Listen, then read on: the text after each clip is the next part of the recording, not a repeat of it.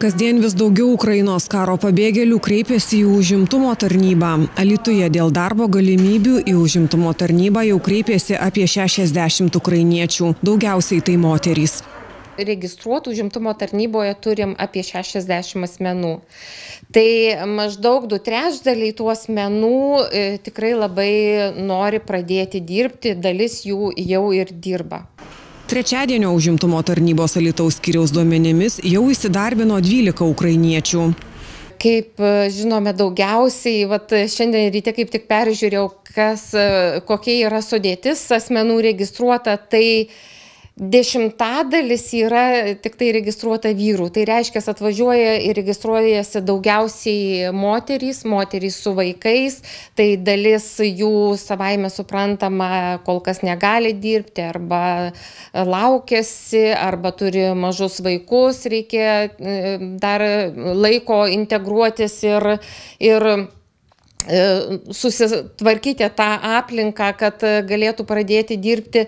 Tai šiuo metu turim įdarbintus e, valytoją pagalbinių darbininkų sandėlio operatoriumi siuvėjomis e, planuoja įsidarbinti manikiūrininkę tai tokios pagrindinės e, profesijos virėjos dar Pasak užimtumo tarnybos Alitaus skyriaus vedėjos Vilijos Maksimavičianės, dėl darbo į užimtumo tarnybą besikreipiančių ukrainiečių kvalifikacijos įvairios profesijos nuo, tarkim, odontologo, IT specialisto, psichologo iki asmens, kuris e, gyveno kaime ir visiškai nedirbo. Tai tų kvalifikacijų tikrai labai yra įvairių, tik e, tokia yra, tarkim, kas tu atvyksta įsilavinę žmonės, dauguma E, šiomis sąlygomis negalėjo pasiimti išsilavinimo dokumentų,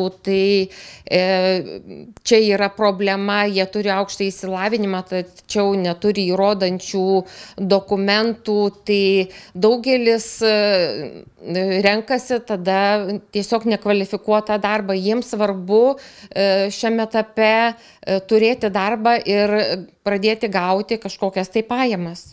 Lietuvos darbdaviai jau paskelbė daugiau nei 5000 laisvų darbo vietų, kuriuose galėtų dirbti nuo karo bėgantis Ukrainos gyventojai. Alituje jau užsiregistravo daugiau nei pusė šimto miesto ir rajono įmonių, kurios siūlo darbą ukrainiečiams dauguma, aišku, tų darbo vietų e, siūloma vyrams, kurių pas mus dėja registruota yra mažiausiai.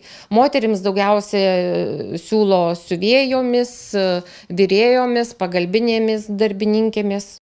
Ukrainos karo pabėgėliai gali registruotis užimtumo tarnyboje ir gauti visas paslaugas, jei yra užsiregistravę migracijos departamente, naudojasi bevizų režimu, turi šengeno vizą ar pateikė prašymą išduoti leidimą gyventi Lietuvoje. Užimtumo tarnybos specialistai per vieną darbo dieną pateiks darbo pasiūlymą, konsultuos mokymosi ar persikvalifikavimo klausimais paprasčiausia tvarka tai atvykti į užimtumo tarnybą ir registruotis gyvai nepaslaptis ir mum yra už iššūkis registruoti tos žmonės dėl, e, tarkim, kalbų skirtumo ir tarkim paprasčiausių dalykų vardų pavardžių rašymo tai kartais telefonu registruoti tikrai pasidaro sudėtinga bet atvykus turint asmens dokumentą tai tikrai galime užregistruoti kartu ir pabendrauti kokio kokie yra asmenų atvykimo tarkim tikslai kokio darbo nori kokios jų galimybės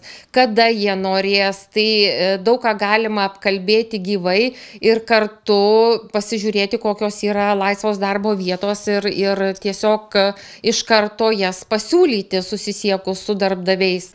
Užimtumo tarnyboje užsiregistravę ukrainiečiai įgyja bedarbio statusą. Nuo 11 dienos įsigaliojo vidaus reikalų ministro įsakymas dėl užsieniečių padėties, kuriuo remiantis palengvinta yra registracija užimtumo tarnyboje ir mes jiems galime suteikti bedarbio statusą.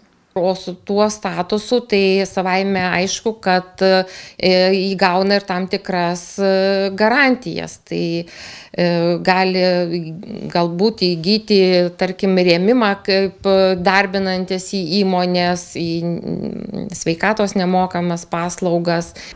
Į užimtumo tarnybą visoje šalyje jau kreipėsi maždaug pusantro tūkstančio darbo ieškančių asmenų iš Ukrainos.